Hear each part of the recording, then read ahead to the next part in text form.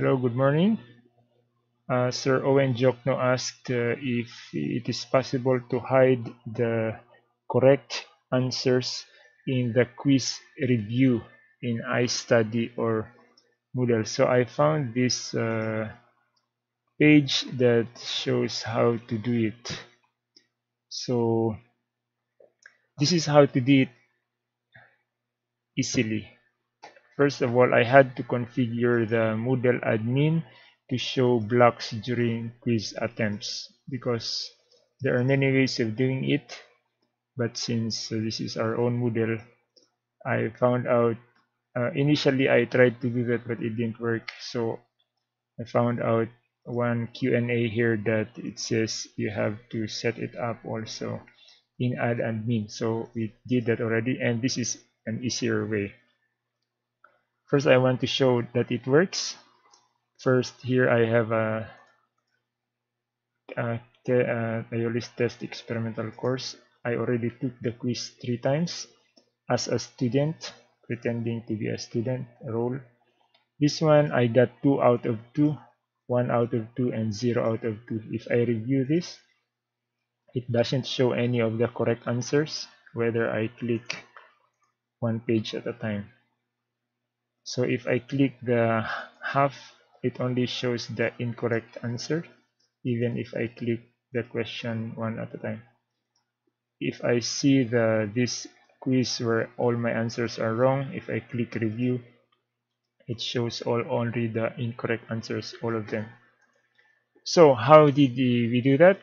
Okay, let me demonstrate by going back to teacher mode and resetting everything else. Okay. so let me just delete this quiz also. Okay we're going to create a quiz from scratch. Quiz named T. Yes. And make sure you click in appearance and show more show blocks during quiz attempts. In the quiz click this make sure this is yes. Then save and return to course. This is supposed to be quiz 1 and then we're going to edit the quiz and add questions edit quiz add questions. I'm just going to add two questions two true or false question questions. This is supposed to be true. And another question which answer is supposed to be false. Okay and that's all. Let's put the correct ready now uh, let's go back to the class. We have to add a block. It says here you can put it in an HTML block. So in our course we are here in editing mode. If you scroll down in this pane there is an add block here you just click add block and then choose an HTML block and it comes out from this side. It will consume some space. That is I don't know how to move that but that's. And we will just name this uh, black uh, something I don't know maybe just put this. And then we have to click this show hide advanced buttons.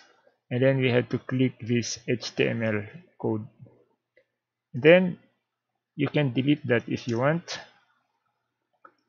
And then we need to copy this HTML code perfectly including everything. And then we have to paste this here. Then what else?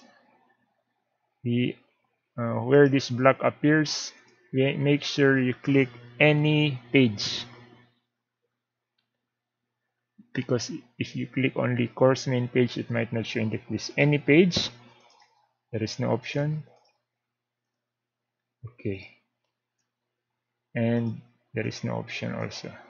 Make sure it's visible. Just click save. And you see the HTML block here.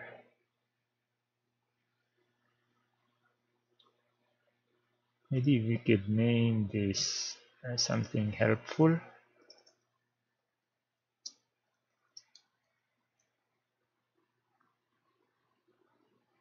Pray without ceasing okay so it is uh, helpful.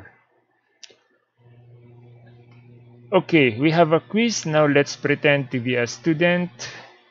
We have put the block in. We have a quiz with two questions. Now let's try to be a student. I just click switch role to and then student. Now let's go to the class. As a student you see I'm browsing it as a student. There is a pray without ceasing quotation here. Let me try the quiz. I'm going to answer perfectly this first attempt. And it hid both of the answers even if I show one page at a time it's still hiding. Now let me reattempt the quiz. I'll answer 50% correct. And it only shows the incorrect question number 2 if I click question number 1 it's not showing. Oh it's showing okay show one page at a time. Question number 1 is not showing. Question number 2 is showing. Correct. If I uh, attempt the quiz and answer wrong everything submit finish it shows only the wrong answers. One page at a time shows also wrong answers. Question number one wrong answer. Question number two. So to review you have to create an HTML block by adding it here. Or by going back to your teacher role have editing on add HTML block copy and paste the code here. In your HTML block you just click this advanced and then this one to see the HTML and make sure you show it on any page. And then make the quiz and experiment with it with the student role. So I hope that helped. Have a nice day